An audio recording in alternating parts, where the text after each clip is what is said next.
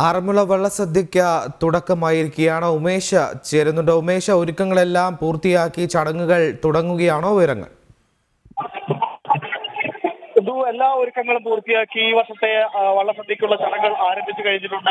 ആദ്യ വള്ളമായ മാരാമൺ പള്ളിയോടം ക്ഷേത്രക്കടവിൽ എത്തി ഇപ്പോൾ ദൃശ്യങ്ങൾ കാണുന്നത് പള്ളിയോടത്തെ ആചാരാനുഷ്ഠാനങ്ങൾ പാലിച്ചുകൊണ്ട് പള്ളിയോടത്തെ കരക്കാരെ സ്വീകരിക്കുന്നതാണ്. വഴിപാടുകാരും ഒപ്പം തന്നെ ദേവസ്വം ബോർഡ് ഭാരവാഹികളും ത്തിന്റെ ഭാരവാഹികളും ചേർന്നാണ് പള്ളിയോടത്തെ സ്വീകരിച്ച് ഇപ്പോൾ ക്ഷേത്രം മുറ്റത്തേക്ക് കൊണ്ടുപോകുന്ന ചടങ്ങുകളാണ് നടക്കുക. കഴിഞ്ഞ രണ്ടു വർഷങ്ങൾക്ക് ശേഷമാണ് ഇത്തരത്തിൽ ആഘോഷപൂർവമായ ചടങ്ങുകൾ നടക്കുന്നത്. കൊറോണയുടെയും ഒപ്പം തന്നെ രണ്ടായിരത്തി പത്തെ പ്രളയത്തിനു ശേഷം കാര്യമായ രീതിയിൽ ആഘോഷപൂർവമായി ഇത്തരം ചടങ്ങുകൾ നടന്നിരുന്നില്ല. ആറന്മുളയിൽ ആറന്മുളയെ സംബന്ധിച്ച് ഏറ്റവും പ്രധാനപ്പെട്ട ചടങ്ങുകളാണ് വള്ളസദ്യയും അതുമായി ബന്ധപ്പെട്ട ആഘോഷ അനുഷ്ഠാനങ്ങളും. അത്തരത്തിൽ രണ്ടു വർഷ ഇടവേളയ്ക്ക് ശേഷം നടക്കുന്നതിന് ആവേശവുമുണ്ട്. എന്നാൽ പ്രളയത്തിന്റെ ഒരു മുന്നറിയിപ്പ് കാരണം ആളുകളുടെ എണ്ണത്തിൽ ചില നിയന്ത്രണങ്ങൾ ഏർപ്പെടുത്തിയിട്ടുണ്ട്. പള്ളിയോടങ്ങളിൽ വരുന്ന ആളുകളുടെ എണ്ണത്തിൽ ചില നിയന്ത്രണങ്ങൾ ജില്ലാ കളക്ടർ ഏർപ്പെടുത്തിയിരിക്കുന്നു.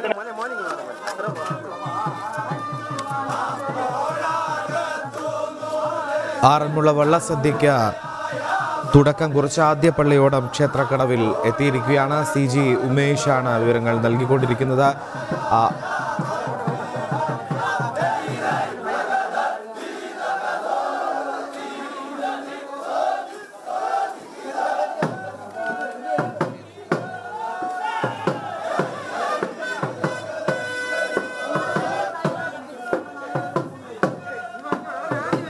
ആ, ഇങ്ങനെ നിന്ന ഞാൻ പിന്നെ എന്താ